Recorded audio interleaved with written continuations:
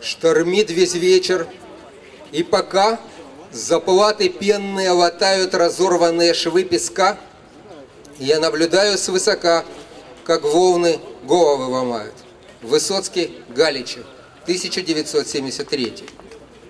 Я слышу хрип и смертный стон, и жалость, что не уцелели. Еще бы взять такой разгон, набраться сил, пробить заслон и голову сломать у цели. И мы сочувствуем слегка погибшим, но издалека.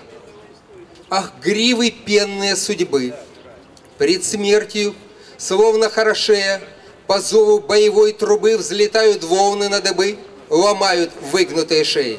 И мы сочувствуем слегка погибшим, но издалека. Придет и мой черед во след.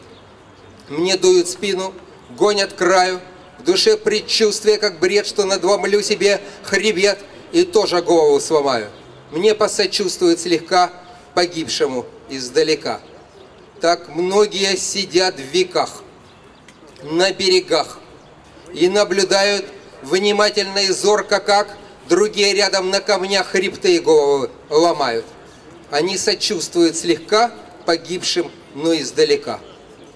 Но в сумраке морского дна, в голубинах тайных кашалотьих, родится и взойдет одна неимоверная волна. На берег ринется она и наблюдающих проглотит. Мы посочувствуем слегка погибшим, но издалека. Спасибо.